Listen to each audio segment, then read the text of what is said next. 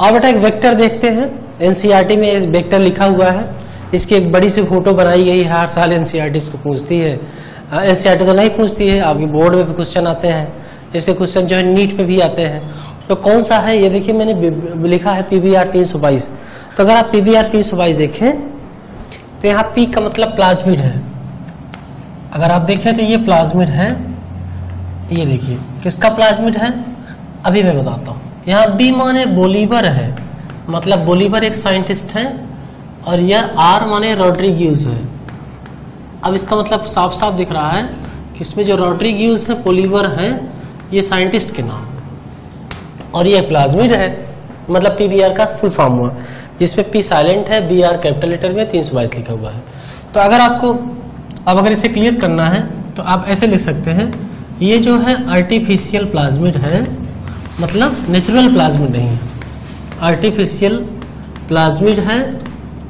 Artificial plasmid of bacteria है, जिसका नाम एस्टेराइशिया कोलाई है। इसी कोलाई का ये आर्टिफिशियल प्लाज्मिड है। आर्टिफिशियल मतलब हम जो इसमें पढ़ेंगे फिगर में, वो एक्चुअली इसमें होता नहीं है। इसे बनाया गया है। दूसरी बात अगर आप लिखना हो तो सबसे पहली बात तो आपने यहाँ पी का मतलब लिख दिया कि भाई आर्टिफिशियल प्लाज्मिड है इससे कोलाई का। फिर आप दूसरी बात लिखिए कि डेवलप्ड बाई अगर देखा जाए तो developed by developed by Bolivar and Rodriguez developed by Bolivar and कौन साइंटिस्ट है? इनका नाम है रॉड्रिग्यूज ये एक साइंटिस्ट है जिनका नाम रॉड्रिग्यूज है और बोलीवर है सबसे पहले इन्होंने इस वेक्टर को बनाया था आर्टिफिशियल वेक्टर को। तो ये क्या है? एक तरह का क्लोनिंग वेक्टर है। अगर आप देखें तो एक तरह का क्या है? क्लोनिंग वेक्टर है। क्लोनिंग वेक्टर है। इसे किसी भी डिजायर्ड जीन को हम ट्रांसफ़र कर सकते हैं। तो अब इसके पास क्या क्या है? इसके पास पहला है ओरिजिन ऑफ़ रिप्लीकेशन ये पहली साइट है। इसके अंदर जिसे हम लोग कहते हैं ओरिजिन ऑफ़ रिप्लीकेशन ये आपको मालिकुलर बायोलॉजी में भी पढ़ा जाता है। इसको शार्टली हम लोग ओआरआई से रिप्रेजेंट करते हैं। ओआरआई से ओरिजिन ऑफ़ रिप्लीकेशन को। अगर आप एनसीआरटी में इस प्लाज्मिड का फ्यूचर फिगर देखें एनसीआरटी ने फिगर को कैसे बनाया? ध्यान से देखिएगा तो। तो अगर आप एनसीआरटी फिगर देखें तो ये ऐसे सर्कुलर डीएनए है। तो सबसे पहले आपको ये समझना है कि डबल स्टैंडर्ड सर्कुलर डीएनए है। ये। ये प्लाज्मिड है, जिसका नाम है पीबीआर अभी बाद में लिख लेंगे। पहले हम लोग इस प्लाज्मिड की लोकेशंस लिख लेते हैं। ये डबल स्टैंडर्ड डीएनए है, अगर आप ये समझ पाए तो। ये कोई सर्कल नहीं है, ये डबल स्टैंडर्ड डीएनए है। अगर आप यहाँ से देखें तो यहाँ से लेके मतलब ये लोकेशन है इस प्लाज्मिड की, यहाँ तक। ऐसे बना दें आप। ये लोकेशन है, जहाँ पर एक खास तरह का जीन है मतलब इतने डीएनए के सेगमेंट मिलके, इतने डीएनए के सेगमेंट मिलके यहाँ पर एक जीन जोड़ा गया है, जिस जीन का नाम टेट्रासाइक्लिन है। ये देखिए। मतलब टेट्रासाइक्लिन यहाँ पर एक जीन है। डीएनए का ये वो सेगमेंट है, जिससे टेट्रासाइक्लिन जीन का मतलब ये प्लाज्मिड जो है टेट्रासाइक्लिन जीन के अगेंस्ट रेजिस्टेंट है। ये मतलब हुआ। दूसरा देखिए, इसी तरह से अगर आप इधर देखें तो ये देखिए ये लोकेशन डीएनए की वो है। ऐसे बना ले आप ये डीएनए की वो लोकेशन है। यहाँ पर डीएनए की वो लोकेशन है। जिस लोकेशन पर एक दूसरा जीन है, जिसका नाम एम्पीसिलिन है। ये देखिए एम्पीसिलिन और टेट्रासाइक्लिन अगर आप देखें तो एएमपी का मतलब यहाँ पर एम्पीसिलिन है। टीटी का मतलब टेट्रासाइक्लिन मैं भी आप लिख देता हूँ। बल्कि अगर आपको डर है तो आप लिख लें कि यहाँ पर एएमपी मतलब हुआ एम्पीसिलिन क्या हुआ? एम्पीसिलिन क्या है एम्पीसिलिन ये एंटीबायोटिक है। एंटीबायोटिक जीन है ये। टीटी मतलब क्या हुआ? टेट्रासाइक्लिन ये टेट्रासाइक्लिन ये देखिए एम्पीसिलिन और टेट्रासाइक्लिन ये दो जीन है। इन्हें हम लोग इसके इस बैक्टीरिया में, ये प्लाज्मिड में, हम लोग इन्हें सेलेक्टेबल मार्कर कहते हैं। कौन से मार्कर लिख दीजिए। कि सर, इन्हें हम लोग सेलेक्टेबल मार्कर कहते हैं। ये जो दो जीन है, इनमें फिगर बना हुआ है। चलिए भाई, लिख दिया आपने। अब आप दूसरी लोकेशन बनाइए। अगर आप इस डीएनए में देखें, इस लोकेशन पे देखें, यहाँ पर देखें, इस जगह पे ये ये लोकेशन है जहाँ पर अगर आप ऊपर देखें तो इसमें एक खास तरह की प्रोटीन है, जिसका नाम आरओपी है। ये देखिए, लिखा हुआ है आरओपी तो अगर आप आरओपी का पूरा मतलब लिखना चाहते हैं तो हेल्प्स इन यहाँ लिख दें helps in replication of plasmid helps in replication of plasmid ये प्लाज्मिड के रिप्लीकेशन में मदद करती है। Helps in replication of plasmid आरोपी का मतलब ये हुआ। ये यहाँ पे लोकेशन है। अगर आप इसकी तीसरी लोकेशन देखना चाहते हैं तो एक लोकेशन इसमें और है। यहाँ पर ये वो जगह है जिसे हम लोग ओ आर आई कहते हैं। ये ओ आर आई वो जगह है जिसे ओरिजिन ऑफ़ रेप्लीकेशन कहा जाता है। अब ये क्या है? ये प्लाज्मिड है। ये क्या है? प्लाज्मिड है। थोड़ा सा इसको और हम लोग एलाबोरेट करते हैं। अब मैं एक दूसरी पेन से लिखता हूँ उनके सारे नाम। यहाँ पर देखिए, जहाँ पर आरोपी है, यहाँ पर एक खास तरह का रिस्ट्रिक्शन एंजाइम है, जिसका नाम है पीएसटी फ़र्स्ट ये इस लोकेशन को कट कर सकता है। पीएसटी फ़र्स्ट आरोपी आई की कुछ लोकेशन को कट कर सकता है। इसे रिस्ट्रिक्शन साइट कहते हैं, जहाँ पर रिस्ट्रिक्शन इंडोन्यूक्लियस कट कर सकता है। मतलब पीएसटी फ़र्स्ट यहाँ पर पैलेंडोमिक सीक्वेंसेस को कट कर सकता है। इसकी जगह पर दूसरा जीन डिजायर्ड जीन जोड़ा जा सकता है। ठीक यहाँ पर, जहाँ पर टेट्रासाइक्लिन है यहाँ पर देखिए, एक एंजाइम है, जिसका नाम है बैम फ़र्स्ट और दूसरा एंजाइम है, जिसका नाम है सेल फ़र्स्ट ये दो एंजाइम है रिस्ट्रिक्शन इंडोन्यूक्लियस है, जो इस सेक्शन को कट कर सकते हैं। इसी तरह से अगर आप यहाँ देखें तो एक एंजाइम है, जिसे हम लोग कहते हैं पीबीयू फ़र्स्ट ये देखिए, ये पीबीयू फ़र्स्ट है पीयूबी पीबीयू फ़र्स्ट है, और यहाँ पर देखें, यहाँ पर सी एल ए फ़र्स्ट है। ये देखिए सी एल ए फ़र्स्ट है। ये उन एंजाइम्स के नाम है, जो यहाँ पर सेक्शन काट सकते हैं। एंजाइम्स के नाम है। यहाँ पर देखिए, तीन तरह के एंजाइम्स हैं। अगर आप देखें तो यहाँ पर पहला एंजाइम है, जिसका नाम है इकोआर फ़र्स्ट ये देखिए इकोआर फ़र्स्ट दूसरा है, जिसका नाम है हिंद सेकंड हिंद सेकंड अब अगर आपने यहाँ पर P V U first second लिखा सॉरी यहाँ पर आपको लिखना चाहिए पीबीयू फ़र्स्ट यहाँ पर पीबीयू पीबीयू सेकंड और यहाँ पर ये जो जगह है, यहाँ पर आपको लिखना चाहिए सर यहाँ पर एक इंजाइम है, जिसका नाम है पीएसटी फ़र्स्ट इस तरह से अगर आप देखें तो इस पूरे वेक्टर में इसका पूरा नाम लिख दीजिए ब्रेकेट में, ऐसे इसका नाम लिख दीजिए सर इसका नाम है पी बी आर तीन सौ बाईस। ये है पी बी आर तीन सौ बाईस, जो प्लाज्मिट है, ये प्लाज्मिट है आर्टिफिशियल प्लाज्मिट है artificial artificial plasmid of artificial plasmid of Escherichia coli Escherichia coli का ये आर्टिफिशियल प्लाज्मिड है। इस तरह से एक आर्टिफिशियल प्लाज्मिड होता है एस्चेराइचिया कोलाई का। अब आप आइए देखा जाए, इसमें सब लोगों की मीनिंग क्या है? तो सबसे पहले आपने यहाँ लिखा है कि किसी भी प्लाज्मिड में ओरिजिन ऑफ़ रिप्लीकेशन होना चाहिए। यहाँ पर देखिए ओरिजिन ऑफ़ रिप्लीकेशन लिखा हुआ है। तो पीबी अगर आप प्लाज्मिड देखें, क्योंकि ये आर्टिफिशियल प्लाज्मिड है, आपने पहले लिख दिया है तो origin of replication replication site where site where DNA dependent DNA polymerase DNA depend DNA dependent DNA dependent DNA polymerase DNA dependent DNA polymerase binds DNA dependent DNA polymerase binds and start and start replication and start replication ये वो जगह है जहाँ पर DNA dependent DNA polymerase जुड़ता है और और इस प्लाज्मिड का रिप्लीकेशन शुरू करता है। ऐसे ही फिगर आपको याद होना चाहिए। Bam first Sal first PBU first CLA first यहाँ देखिए पीबीयू यहाँ पर पीबीयू फ़र्स्ट है। सॉरी यहाँ पीबीयू सेकेंड है। वहाँ पर देखिए इकोवार फ़र्स्ट है हिंद सेकंड है पीएसटी फ़र्स्ट है। तो ये बाहर बाहर जो नाम लिखे गए हैं, अगर आप बाहर बाहर वाले नाम देखें तो दो तो सिलेक्टेबल मार्कर हो गए, ये पहली चीज़ हो गई। दूसरा देखें, इसमें दूसरा ओ है, जिसे हम लोग ओरिजिन ऑफ़ रिप्लीकेशन कहते हैं। और तीसरा देखिए, लिखा हुआ रिस्ट्रिक्शन साइट्स है। तो रिस्ट्रिक्शन साइट्स जो है रिस्ट्रिक्शन साइट्स वो है जहाँ पर रिस्ट्रिक्शन इंडोन्यूक्लियोज एंजाइम जुड़ सकता है। मैं पहले आपको इसका पूरा नाम सिखा देता हूँ, फिर आगे पढ़ाता हूँ। तो रिस्ट्रिक्शन साइट्स जो है, जहाँ पर रिस्ट्रिक्शन इंडोन्यूक्लियस जुड़ सकता है, अगर इनका आप नाम लिखना चाहते हैं तो एक तरफ़ से नाम लिखिए।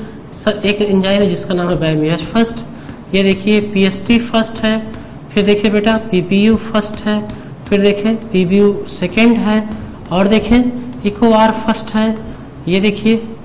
और इसके बाद क्या है? हिंद थर्ड है हिंद थर्ड है, मैंने सेकंड लिख दिया है। फिर इसके बाद देखें पीएसटी फ़र्स्ट है और कोई नाम सीएलए फ़र्स्ट है। तो अगर आप देखें तो टोटल आठ, करीब आठ इंजाइम बाहर बाहर लिखे गए हैं। तीन तीन छः दो, आठ। और मैंने लिखा कितना? चार, तीन, सात, कोई एक बच रहा है। शायद बायोमेज फ़र्स्ट बच रहा है। फ़र्स्ट हो गया है। सेल फ़र्स्ट सेल फ़र्स्ट नहीं हुआ, ये लिख दीजिए। मतलब ये सारे एंजाइम्स के नाम हैं। ये एंजाइम्स के नाम हैं, जो आपको इस प्लाज्मिड पे दिखाई सकते हैं। इन जगहों पे प्लाज्मिड सेक्शन काट सकता है और प्लाज्मिड सेक्शन काटने के बाद यहाँ पर ले आगे डिजायर्ड जिन को जोड़ा जा सकता है, जो बाहर बाहर लिखा गया है। बाहर बाहर रिस्ट्रिक्शन इंडोन्यूक्लियस के नाम लिखे गए हैं। अंदर जो है दो सिलेक्टेबल का मार्कनर के नाम लिखे गए हैं। ये ओरिजिन ऑफ़ रेप्लीकेशन है आरोपी का फ़ंक्शन मैंने पढ़ा दिया आपको।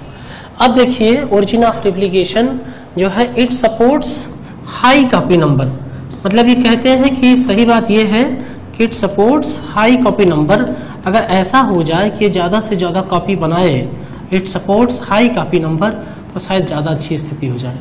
It supports high copy number इसको हाई कॉपी नंबर को सपोर्ट करना चाहिए। और हाई कॉपी नंबर मतलब इस प्लाज्मिड की ज़्यादा से ज़्यादा ज़्यादा से ज़्यादा जो है कॉपीज बन सके। तो ओरिजिन ऑफ़ एप्लीकेशन वो जगह है प्लाज्मिड पे।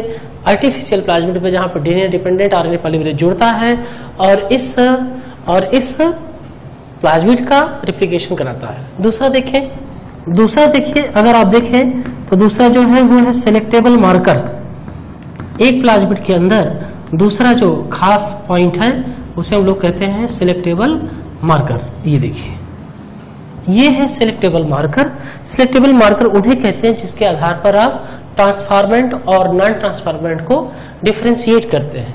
तो सिलेक्टेबल मार्कर जो है इट ऐसे लिख सकते हैं it can it help in it help in identification of it help in identification of identification of transformant transformant and non transformant इसके कारण आइडेंटिफिकेशन होता है ट्रांसफॉर्मेंट का एंड नॉन ट्रांसफॉर्मेंट का।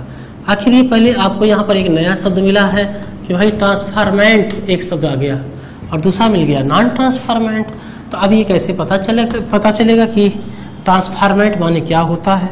तो ये देखिए। मैं फिर से पढ़ देता हूँ, मैंने लिखा क्या है? It help in identification of transformant and non transformant ये जो सिलेक्टेबल मार्कर है, ये ट्रांसफार्मेंट और नॉन ट्रांसफार्मेंट को डिफ्रेंशिएट करने में मदद करता है। फ़ायदा ये होता है, पहले आप ट्रांसफार्मेशन माने समझें। यहाँ पर ये भी लिख सकते हैं ट्रांसफार्मेशन माने क्या होता है? तो अगर आप ट्रांसफार्मेशन माने देखें ट्रांसफार्मेशन माने ये होता है कि ट्रांसफ़र ऑफ़ इसका मतलब आप समझ लें ट्रांसफार्मेशन होता है transfer of transfer of foreign DNA transfer of foreign DNA transfer of foreign DNA into host cell अगर आप फॉरेन डीएनए को होस्ट सेल के अंदर ट्रांसफ़र करते हैं तो इस प्रक्रिया को हम लोग ट्रांसफॉर्मेशन कहते हैं। अगर आप एनसीईआरटी में देखेंगे इसको ऑलरेडी फिगर में लिखाया गया है यह मैं आपको बना के भी सिखा देता हूँ। ट्रांसफॉर्मेशन माने हुआ कि जब फॉरेन डीएनए को हम लोग होस्ट सेल के अंदर ट्रांसफ़र करते हैं जिसे हम लोग ट्रांसफॉर्मेशन कहते हैं। या आप ऐसे देख लें। जब आप बना रहे थे तो ये देखिए, ऐसे आपने प्लाज्मिड बनाया था। ये आपने इसे प्लाज्मिड बनाया था, सर, ये प्लाज्मिड है। और इस प्लाज्मिड आपने क्या जोड़ा था? बोलिए, आपने इस पे डिजायर्ड जीन को लेकर जोड़ दिया था। ये देखिए, ये। तो जब आपने इस प्लाज्मिड के साथ डिजायर्ड जीन को जोड़ दिया था तो आपने इसे कहा था कि सर, ये रिकॉम्बिनेंट है। क्या है? रिकॉम्बिनेंट है। या इसी को आपने रिकॉम्बिनेंट डीएनए कहा था। तो रिकॉम्बिनेंट किसे कहते हैं? जब किसी फॉरेन डीएनए पे ले आके डिजायर्ड जीन को जोड़ देते हैं तो उसे रिकॉम्बिनेंट कहते हैं। फिर आप देखिए, आपने इस प्लाज्मिड को कहाँ भेजा था? ये देखिए, ये कौन सी सेल है? अगर मैं आपसे पूछूँ तो आप कहेंगे, सर, ये होस्ट सेल है। इस होस्ट सेल का नाम क्या है? आप कहेंगे, क्या सर सुबह सुबह आपने मज़ाक कर दिया? इस होस्ट सेल का नाम स्टेराचिया कोलाई है। तो जब आप इस रिकॉम्बिनेंट डीएनए को इस होस्ट सेल के अंदर भेजते हैं रिकॉम्बिनेंट डीएनए को होस्ट सेल के अंदर भेजते हैं तो प्रक्रिया को ट्रांसफॉर्मेशन कहा जाता है। प्रक्रिया को क्या कहा जाता है? ट्रांसफॉर्मेशन अगर आप एनसीआरटी देखेंगे तो आपको ये मिल जाएगा। पहले तो आप ये क्लियर कर ले कि ट्रांसफॉर्मेशन होता क्या है। तो अगर आपने इस बैक्टीरिया को, ये जो बैक्टीरिया है, अगर आपने इसको सेल के अंदर भेजा होश सेल के अंदर भेजा तो ये देखिए स्थिति कुछ ऐसी हो जाएगी। जब आप इसको ऐसे अंदर भेजेंगे तो प्रक्रिया का नाम क्या होगा? ट्रांसफॉर्मेशन और जिस सेल के अंदर जाएगा, उसे क्या कहेंगे? ट्रांसफार्मेंट सेल कहेंगे। जिसके अंदर ये गया, उसे क्या कहेंगे? ट्रांसफार्मेंट तो अगर ये सेल के अंदर चला गया तो उस सेल को क्या कहेंगे? कि ये जो सेल है, ये ट्रांसफार्मेंट है। ये क्या है? ट्रांसफार्मेंट है। लेकिन अगर ये सेल के अंदर न जाता, तब क्या कहते हैं? तब कहते हैं कि, सर, ये सेल नॉन ट्रांसफार्मेंट है। तो आप बताइए कल्चर मीडिया में किस सेल को सर्वाइव करवाएँगे? तो मैंने ट्रांसफार्मेशन मान लिख दिया है। फ़ायदा ये होता है कि जो ट्रांसफार्मेंट सेल होती है ये देखिए, जो ट्रांसफार्मेंट सेल होती है ट्रांसफार्मेंट सेल होती है, उसे हम लोग कल्चर मीडियम में कल्चर मीडियम में ग्रो कराते हैं। ये देखिए कल्चर मीडियम में ग्रो कराते हैं। कल्चर मीडियम में क्या कराते हैं बेटा? ये देखिए ग्रो कराते हैं। लेकिन जो नॉन ट्रांसफार्मेंट होती है, जिसके अंदर हमारा डिजायर्ड जीने नहीं जाता है नॉन ट्रांसफार्मेंट जिसके अंदर हमारा डिजायर्ड जीने नहीं जाता है जो नॉन ट्रांसफार्मेंट है, उसको हम लोग एलिमिनेट करा देते हैं मतलब उसको खत्म कर देते हैं। इस तरह से अगर आपसे पूछा जाए कि बताइए भाई सेलेक्टेबल मार्कर का क्या काम है? तो सिलेक्टेबल मार्कर आइडेंटिफिकेशन मदद करते हैं किस सेल के ट्रांसफार्मेंट और नॉन ट्रांसफार्मेंट के जो ट्रांसफार्मेंट होती है जिसमें ये डीएनए चला जाता है, उन्हें कल्चर मीडियम में तो हम सर्वाइव कराएँगे, क्योंकि उसमें हमारा डिज़ाइन डिजीन पड़ा हुआ है। लेकिन जो सेल के अंदर नहीं जाता है, वो नॉन ट्रांसफार्मेंट होता है और उसे कल्चर मीडियम में सर्वाइवल के लिए हम भेजते नहीं है, वो एलिमिनेट किया जाता है मतलब उसे खत्म कर दिया जाता है। अगर आप सेलेक्टेबल मार्कर देखें एनसीआरटी में तो सेलेक्टेबल मार्कर का अगर आप नाम देखें तो ऐसे लिखा है कि सर देखिए, एक तो सेलेक्टेबल मार्कर है एम्पीसिलिन देखिए फिगर बना हुआ है। वहाँ पर देखें एम्पिसिलिन है। दूसरा है, जिसे हम लोग टेट्रासाइक्लिन कहते हैं। टेट्रासाइक्लिन, ये देखिए एम्पिसिलिन टेट्रासाइक्लिन। और भी नाम लिखा है, देखिए, कनामाइसिन। एक नाम है जिसे हम लोग कनामाइसिन कहते हैं, और एक नाम है जिसे हम लोग नियोमाइसिन कहते हैं। ये सब क्या है? अगर मैं आपसे पूछूँ तो आप कहेंगे, सर, ये सब एंटीबायोटिक्स है। क्या है बेटा? एंटीबायोटिक है। इसका मतलब ये हुआ कि ये प्लाज्मिड है। रिकॉम्बिनेंट प्लाज्मिड है। इस प्लाज्मिड को अगर आप एम्पीसिलिन टेटासाइक्लिन के मीडिया में डालेंगे, एंटीबायोटिक के तो ये सर्वाइव करेगा। इसका मतलब रिकॉम्बिनेंट है। और अगर आपने इस प्लाज्मिड को बैक्टीरिया की सेल के अंदर डाल दिया तो वो ट्रांसफार्मेंट है। ट्रांसफार्मेंट माने जब बैक्टीरिया के सेल के अंदर प्लाज्मिड को डाल दिया जाए तो वो ट्रांसफार्मेंट है। लेकिन अगर आपने इस प्लाज्मिड पे डिजायर्ड जीन जाके जोड़ दिया तो ये रिकॉम्बिनेंट है। तो अगर मैं आपसे पूछूँ सिलेक्टेबल का टोटल मार्कर के नाम कितने हो गए? दो तो ये लिखे हुए हैं, दो आपको और लिख लेना है ताकि एनसीआरटी आ जाए आपको। एक नाम है जिसका नाम है कनामाइसिन और एक का नाम है जिसका नाम है नियोमाइसिन ये जो जितने चारों आप नाम देख रहे हैं, ये चारों नाम किसके हैं?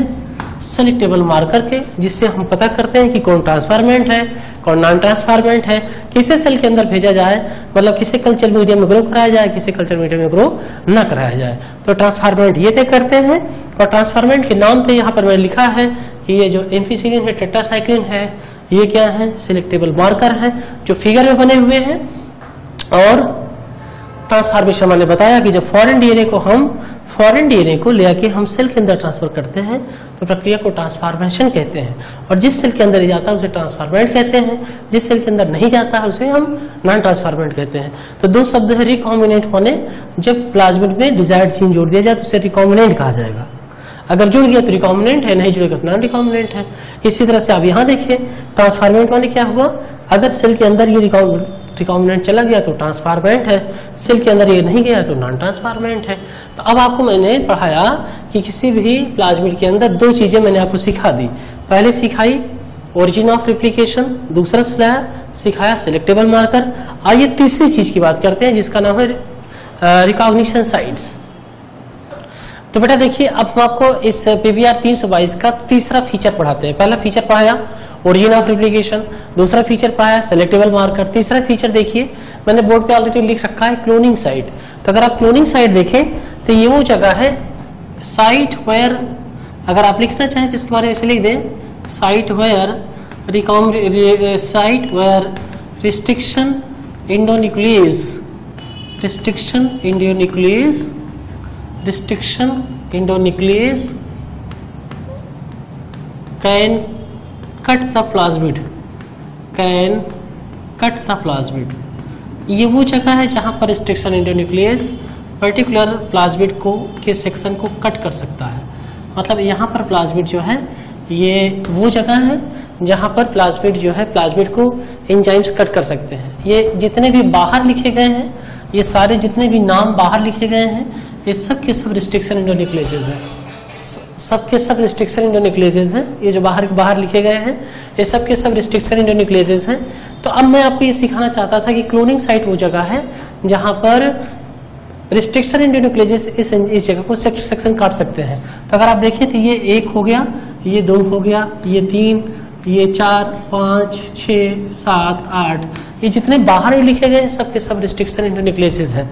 मैंने भी आपको बताया कि ट्रांसफार्मेंट और रिकॉमिनेंट पहले आप तो शब्द क्लियर कर लें, कि रिकॉमिनेंट क्या है? फिर मैं आपको आगे पढ़ाऊँगा। सबसे पहले आपको दो शब्द आना चाहिए कि रिकॉम्बिनेंट क्या है। ये चीज़, सबसे पहले ये आना चाहिए रिकॉम्बिनेंट क्या है?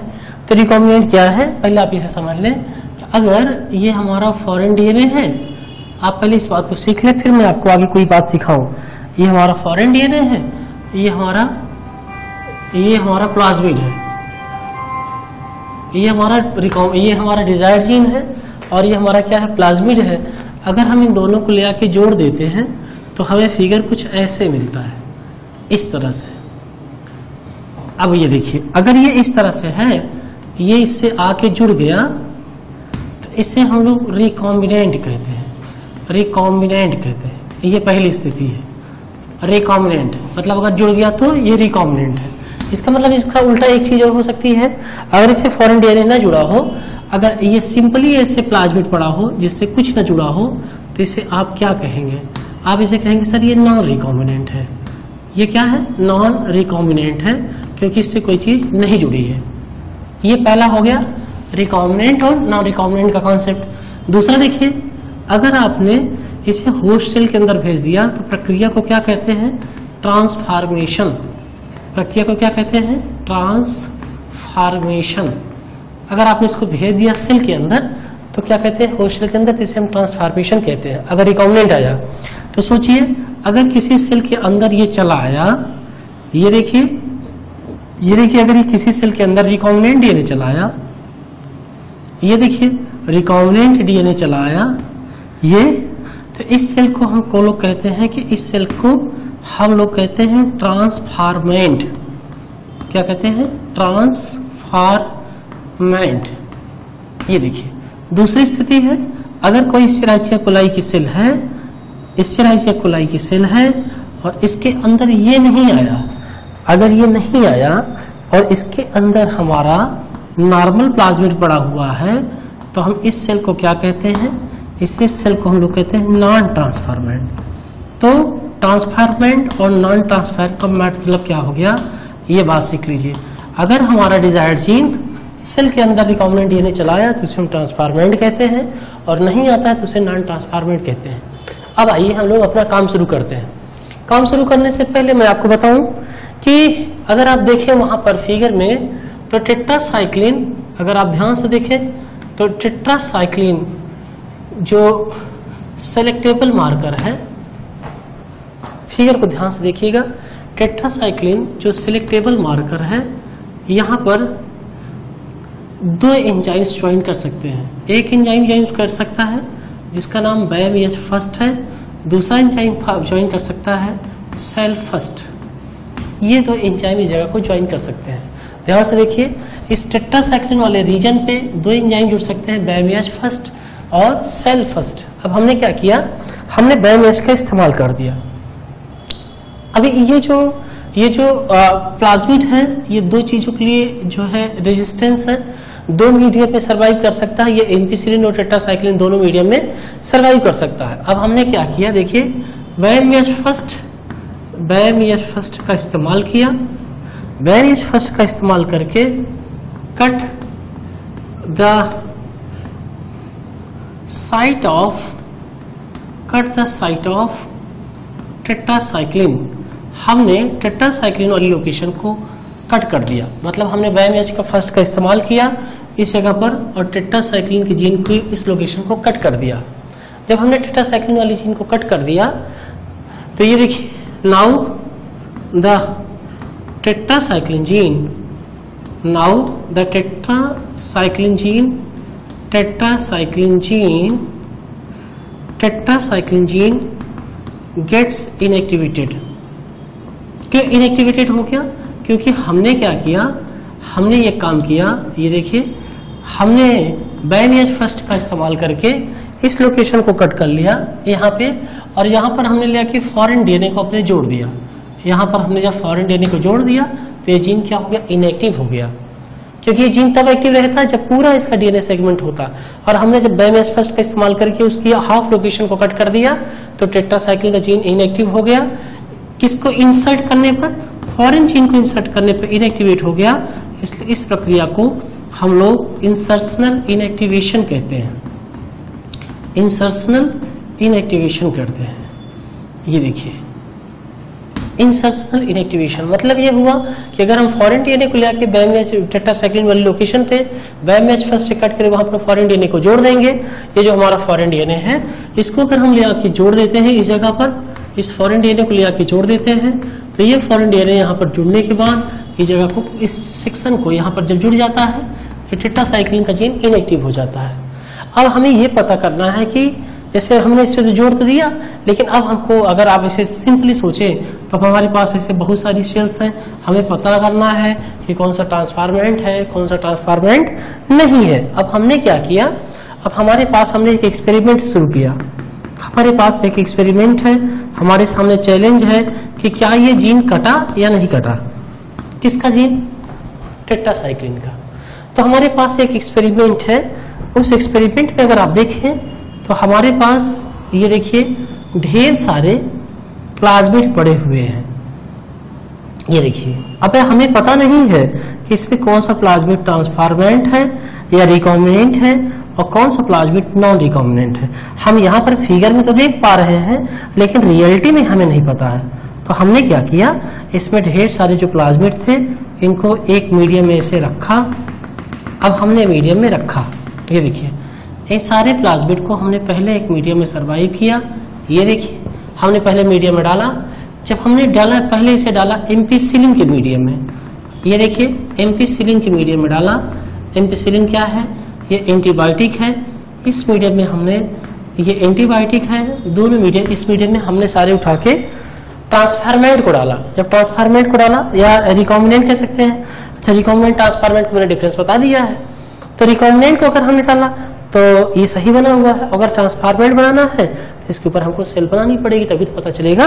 अगर आपको मान लीजिए इसको रिकॉम्बिनेंट एस्पेक्ट देना है तो आप ऐसे भी कर सकते हैं।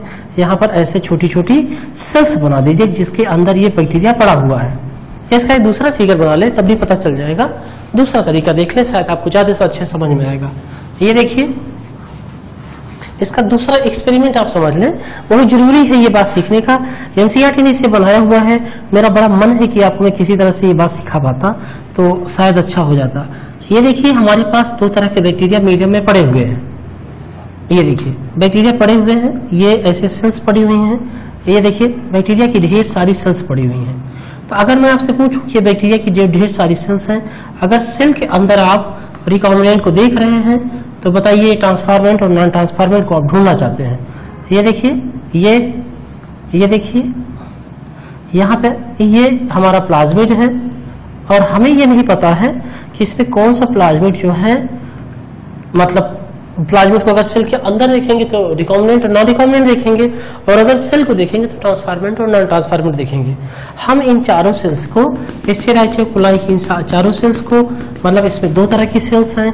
अगर आप समझे तो इसमें ट्रांसफार्मेंट भी हैं, इसमें नॉन ट्रांसफार्मेंट भी है। हमने उठा के इनको सेल के अंदर डाल दिया। मतलब आप समझे तो हमने वहाँ से वो दोनों सेल्स को उठा के यहाँ पे डाला है, जो ट्रांसफार्मेंट और नॉन ट्रांसफार्मेंट लेकिन हमें पता नहीं है। हमने एमपी एम्पीसिलिन के मीडियम में डाला।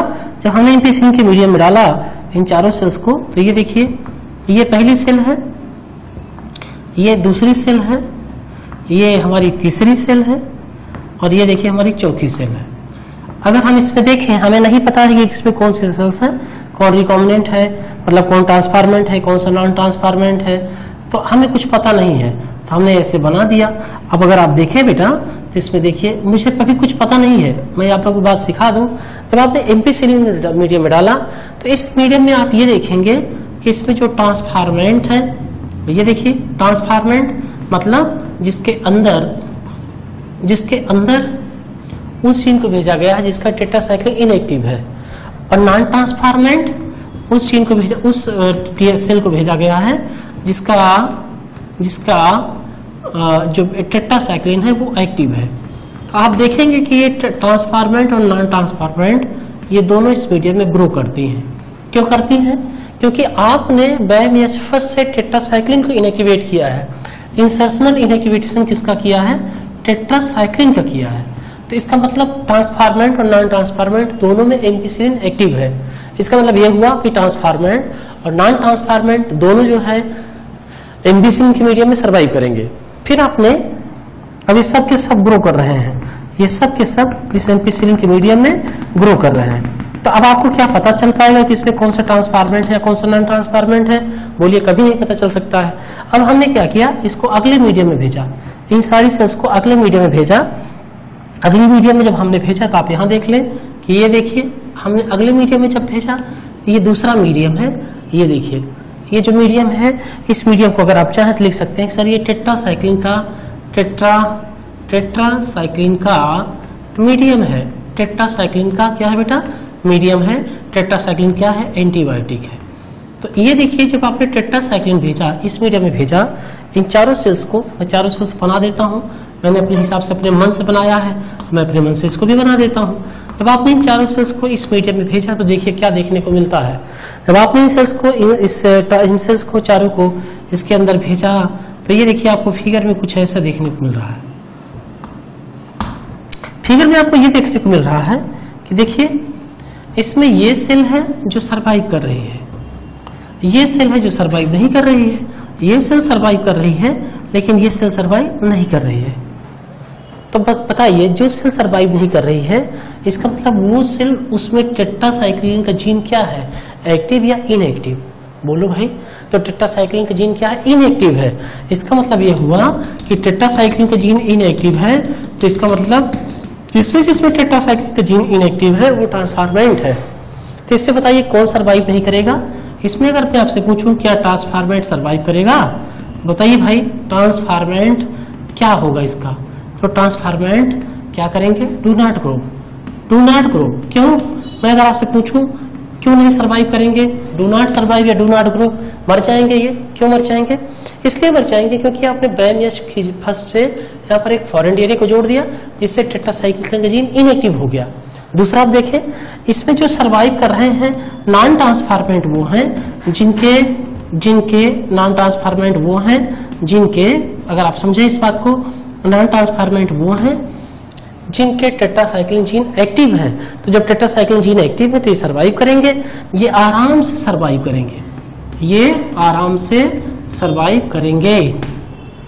तो इस तरह से अगर आप देखें तो ये दो मीडियम है जो ट्रांसफार्मेंट और नॉन ट्रांसफार्मेंट को सर्वाइवल देने के लिए मतलब क्लियर करते हैं कि कौन सा ट्रांसफार्मेंट है, कौन सा नॉन ट्रांसफार्मेंट है। इसको क्लियर कर लेते हैं, फिर से फिगर देख लीजिए। हमने जब बैक्टीरिया में फॉरन डीएनए को जोड़ा तो हमें नहीं पता है कि इसमें कौन ट्रांसफार्मेंट है, कौन कौन सा नॉन ट्रांसफार्मेंट है। हमने सारी रेटियल सेल्स को के एम्पिसिल की वीडियो में डाला, इसमें ट्रांसफार्मेंट नॉन ट्रांसफार्मेंट दोनों सर्वाइव कर रहे हैं। हमने वहाँ को समझा दिया ट्रांसफॉर्मेशन क्या होता है। फिर हमने इसको जब टेट्रासाइक्लिन के मीडियम में डाला तो आप ये समझिए कि हमने टेट्रासाइक्लिन वाले जीन पे फ़र्स्ट से फॉरेन डीएनए लिया के जोड़ा। जब हमने फॉरेन डीएनए जोड़ा तो ये जीन क्या हो गया? इनएक्टिव हो गया। तो इसका मतलब जिसमें जिसमें हमने फॉरेन डीएनए जोड़ा, उसमें टेट्रासाइक्लिन का जीन काम नहीं कर रहा है। तो जब हमने फॉरेन डीएनए जोड़ा तो उस प्रक्रिया को क्या कहा गया? ट्रांसफॉर्मेशन उसमें कौन सा डीएनए है? रिकॉम्बिनेंट डीएनए है। तो इसका मतलब जो जो बैक्टीरिया इसमें इस टेट्रासाइक्लिन सर्वाइव नहीं कर रहे हैं, उन बैक्टीरिया के ये जो टेट्रासाइक्लिन जीन है, वो इनएक्टिव है। और जो जो बैक्टीरिया इसमें सर्वाइव कर रहे हैं, इसका मतलब उनका जो टेट्रासाइक्लिन जीन है, वो एक्टिव है। इस तरह से आप कह सकते हैं कि, सर, देखिए, इस तरह से आप यहाँ पर बात कह सकते हैं, सर, देखिए, यहाँ पर जो जिसमें टेट्रासाइक्लिन जीन इनएक्टिव है, वो ट्रांसफार्मेंट है, और जिसमें टेट्रासाइक्लिन जीन इनएक्टिव है सॉरी एक्टिव है, वो नॉन ट्रांसफार्मेंट है। अब इसकी कुछ और बातें हैं जो मैं आपको यहाँ सिखा देना चाहता हूँ, ताकि आपको बार बार टेंशन ना लेनी पड़े। कुछ छोटी छोटी बातें जो आपको सीखना पड़ेगा। आप एक चीज़ें और कुछ भी सीखिए तो यहाँ पर ट्रांसफार्मेंट और नॉन ट्रांसफार्मेंट को तय करने के लिए हमें दो मीडियम चाहिए। एक मीडियम चाहिए एम्पिसिलिन का, दूसरा मीडियम चाहिए किसका?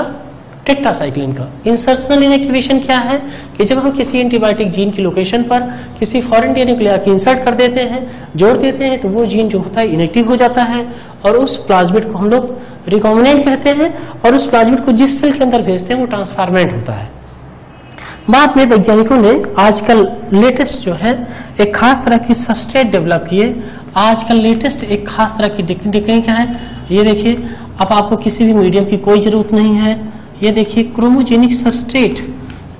क्रोमोजेनिक सबस्ट्रेट या मार्कर है, इसे हम बड़े आसानी से पता कर सकते हैं।